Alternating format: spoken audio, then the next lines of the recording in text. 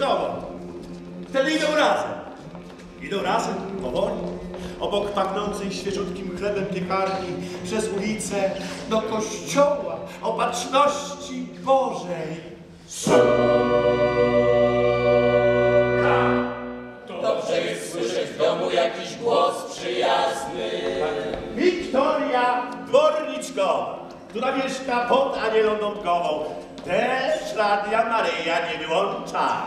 Jedno radio gra w kuchni, drugie malutkie radyjko na baterię w łazience. Dobrze jest słyszeć w domu jakiś głos przyjazny.